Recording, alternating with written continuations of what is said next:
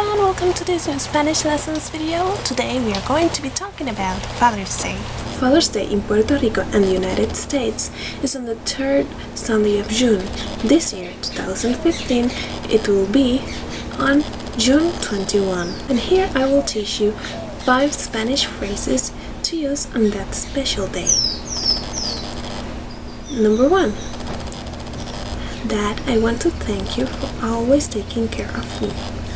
Papá, quiero agradecerte por siempre cuidar de mí. Papá, quiero agradecerte por siempre cuidar de mí. Number two, you have always been my hero. Siempre has sido mi héroe. Siempre has sido mi héroe. Number three, te admiro. I admire you. Te admiro.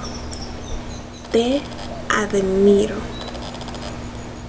Number four, I love you. In Spanish, I love you can mean te quiero or te amo. Te amo is often used to your romantic partner, and te quiero is used for family, friends, and so on. Don't worry if you say te amo to a family member, it's perfectly okay.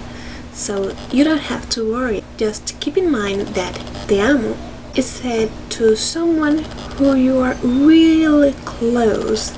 Okay? Number five. I'm happy of being your daughter or your son. In Spanish, daughter is hija hija and the son is hijo hijo.